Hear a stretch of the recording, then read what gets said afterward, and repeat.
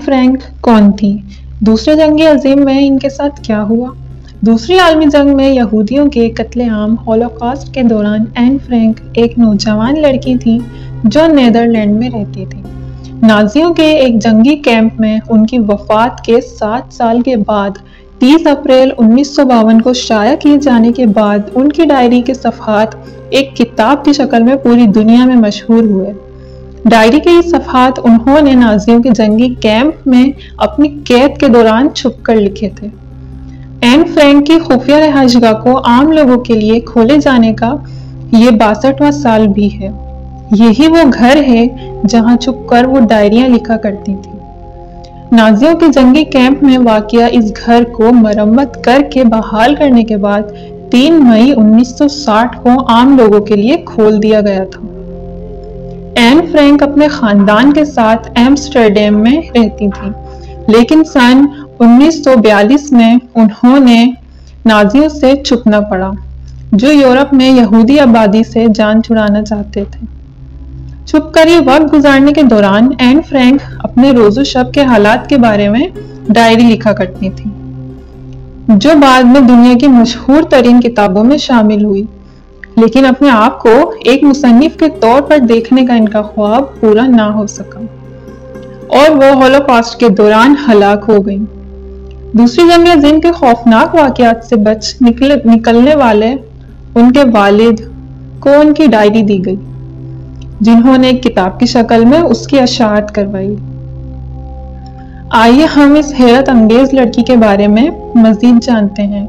जिसने हालिया तारीख के होलनाक तरीन वाकयात में से एक की कहानी पूरी दुनिया को सुनाई।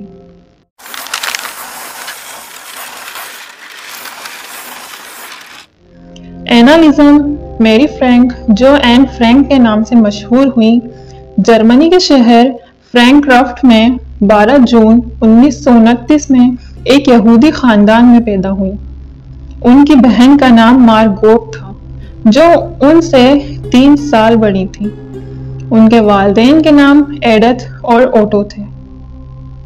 पहली जंग अजीम के बाद जर्मनी को गुर्बत का सामना था और अक्सर लोगों के लिए ज़िंदगी बहुत मुश्किल हो गई थी।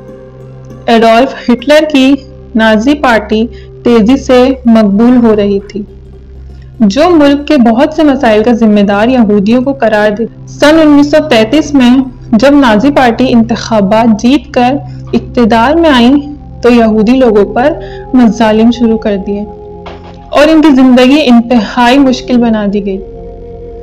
फ्रैंक खानदान ने जर्मनी से निकलने का फैसला किया और वो नेदरलैंड्स के शहर एम्स्टरडेम मुंतकिल हो गए।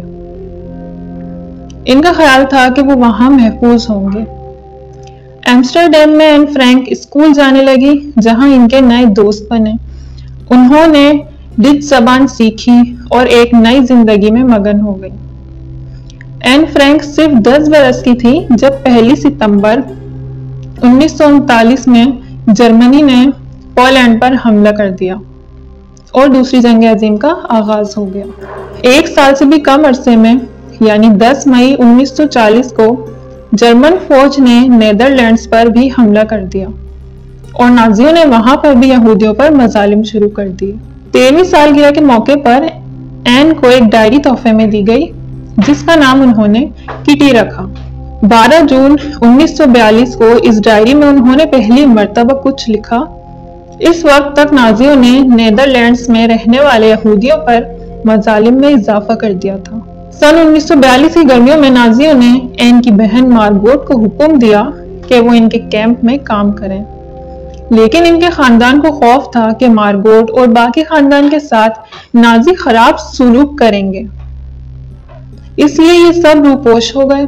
एन फ्रैंक के वालिद ओटो ने अपने कारोबार की इमारत से मलहे का एक जगह बनाई हुई थी, जहाँ यह खानदान छुप कर रहने लगा। इस खानदान के अलावा वहाँ चार दीगर अफराद भी छुपे हुए थे। ये अफराद हेरमन ऑक्सटे और इनका बेटा पीटर और एक दूसरा शख्स फ्रेडल्स फीफर थे। इन छुपे हुए लोगों की मदद ऑटो के काबिल एतमाद दोस्तों ने की, जो इन्हें खुराक और बाहर की दुनिया की खबरें पहुंचाते थे। ये सारा वक्त एन ने लिखने में गुजारा, इन्हें लिखना बहुत अच्छा लगता था। इस दौरान वो अपनी डायरी के सफात लिखती रही और इसके अलावा उन्होंने नज़में और कहानियाँ भी लिखी। ये लिखना ही था जिसके ज़रिए उन्होंने हालात का मुकाबला और सुकून हासिल किया। एक दिन उन्होंने रेडियो पर डिच हुकूमत के वज़ीर तालीम की बातें सुनी। वो इंग्लैंड में थे और लोगों से कह रहे थे कि जंग से मुतालिक डायरिया और दस्तावेजात को महफूज रखें। इस बात ने एन फ्रैंक को भी मुतासर किया कि वो अपनी डायरी के सफ़ात को एक किताब की शक्ल दें। उन्होंने अपनी नावल खुफिया इमारत पर काम शुरू किया। लेकिन इससे पहले कि वो अपनी नावल मुकम्मल करती, वो हो गया जिसका इन लोगों को खौफ और खतरा था। दो साल तक छुपे रहने के बाद आखिरकार नाजियों को इनकी खुफिया रिहाइश गाह के बारे में मालूम हो गया। आज तक ये पता नहीं चल सका कि नाजियों को इस बारे में किस तरह खबर हुई।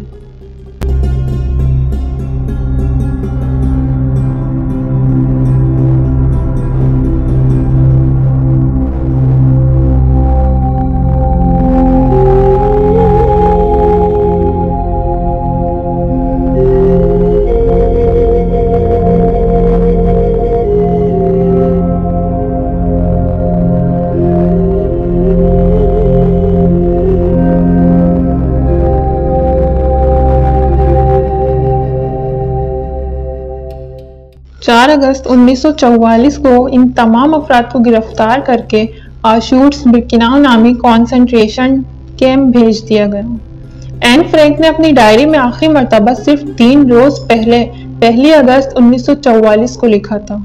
जब वो आशूट्स बिरकिनाव पहुँचे तो फ्रैंक खानदान के अफराद को नस्बता अच्छी सेहत के हामिल होने की वजह से काम पर लगा दिया गया था। ओटो को अपनी बीवी और दो बेटियों से अलहदा कर दिया गया था।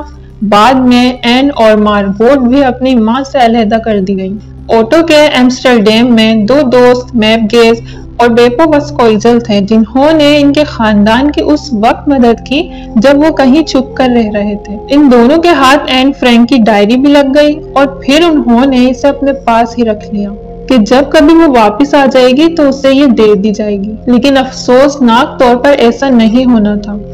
एन और मार्गोट को नवंबर 1944 के अवाइल में बर्गन बेल्सन के एक हिरासती कैंप में भेज दिया गया, जहाँ इनकी सेहत भी खराब हो गई और फरवरी 1945 में ये दोनों कैद में टाइफ्स बुखार में मुब्तला होकर मर गईं।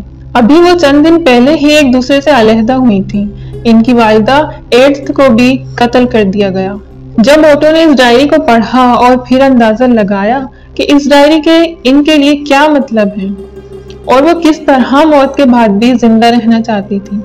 ओटो ने एन फ्रैंक की डायरी को किताबी शक्ल दी और फिर उसे शाया करा दिया। 25 जून उन्नीस को द सीक्रेट नामी किताब की तीन हज़ार से ज़्यादा कॉपियाँ छिपी थी। बहुत जल्द ही ये किताब कई जबानों में तर्जुमा करके शाया की गई। इस पर ड्रामा और फ़िल्म भी बनी। और यूँ दुनिया भर लाखों लोगों तक एन फ्रैंक की कहानी पहुँची। एन फ्रैंक का मुसनफ बनने और छुप कर अपनी ज़िंदगी से मुतालिक एक नावल छाया करने का ख्वाब अब एक हकीकत में बदल गया। सन 1907 में एम्स्टरडेम में वो जगह जहाँ चोरी छुपे ये डायरी लिखी गई थी, अब वहाँ एन फ्रैंक हाउस के नाम से एक सरकारी म्यूज़ियम बन गया है। इस म्यूज़ियम में असल डायरी नुमाइश के लिए रखी गई है। आप आज भी इस जगह जाकर इस डायरी को देख सकते हैं।